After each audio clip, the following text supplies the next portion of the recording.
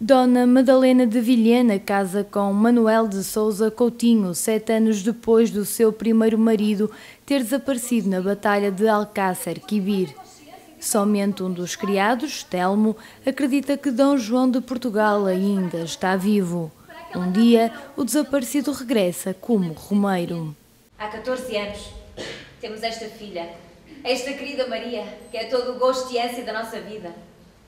E tu, Tu, meu Telmo, que és tão seu, que chegas a pretender ter mais amor que nós mesmos? Não, não tenho. Pois tens, melhor. E és tu que andas continuamente e quase por assim de alimentar esta quimera, a levantar este fantasma.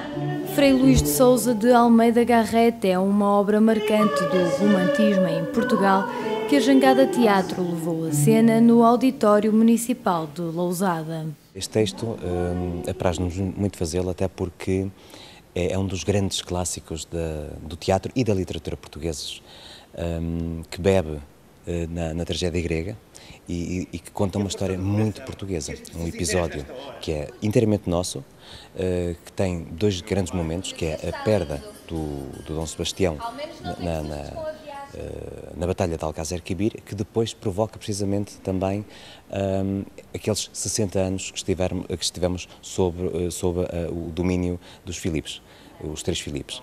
Neste caso concreto, a história passa-se em 1599, a 4 de agosto de 1599, portanto está, estamos precisamente a meio desses 60 anos, foi 1570 1640, mas uh, o, o, o, rico deste texto é que este texto não é escrito no século XVI, no final do século XVI, é escrito precisamente uh, na primeira metade do século XIX.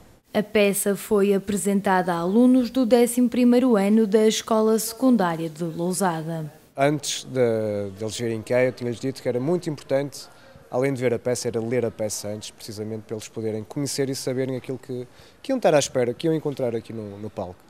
Portanto, é fundamental lerem bem, trabalharem bem e depois realmente consegue-se perceber muito melhor.